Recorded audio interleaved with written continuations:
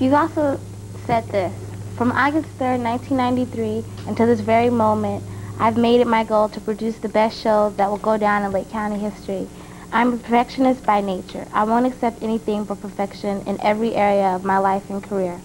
As a result of the An Evening with Evangelist Lerone Baker show, I've reached thousands among thousands of people.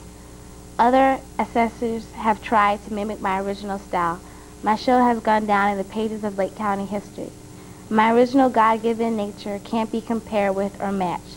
The public viewers will always remember that I was the only one to take total interest in bringing gospel music and down-earth gospel preaching to the homes of thousands through the media of television. Yeah.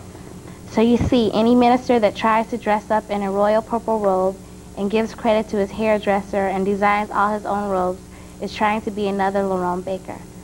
My show is marked and fixed in time. I resent that kind of behavior. No, no one can be better than me.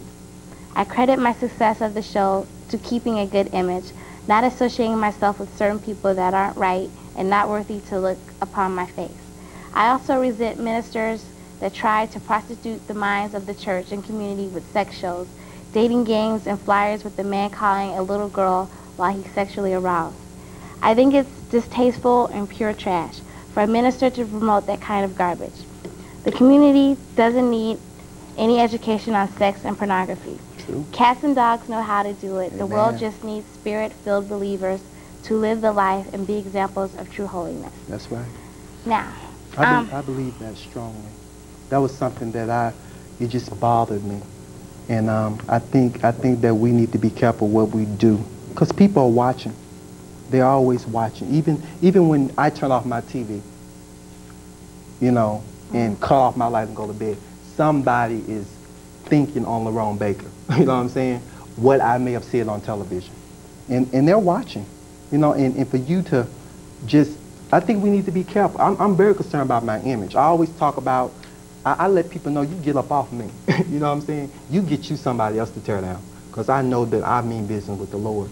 And when I find, when I find myself in a position to where um, I feel uncomfortable with individuals, I just turn them loose. Because I have a road to travel, and when you traveling a rugged road, you got to take off anything that ain't really that's holding you yeah, back. that's right. Weights and stuff. You say that no one can be better than you. Do you mean that just simply No, I'm talking about no one can mimic my original style as far as what I do. I've seen people come back and try to say the same things I said. Mm. Or I like to thank my hairdresser for doing my hair. you know what I'm saying? When the credits, you ain't been doing it, so why do it now?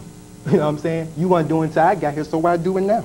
I figured that if you, see, I know who I am. I keep telling people, if you, if you got something, you don't have to copy it off nobody. You got it anyway. I don't have to watch you to get no ideas, because I got my own ideas. But don't you think there's also a chance for people, everybody learns from someone. Oh no, but see, I heard a minister say to to emanate me to the point of jealousy. When you can go around and tear me down, then try to wear what I wear and do what I do, you you aren't you, you you're jealous of me and want to be like me, but you want to pass it on as you. You know what I'm saying? It's a difference. You know, it's a big difference than you admiring what I do and getting with me and want to know how to do it, than you tearing me down behind my back and grinning my face, then try to walk like me and talk like me and mimic what I say on your show. You can't do that. I'm not gonna let you. I'm not gonna let you do it.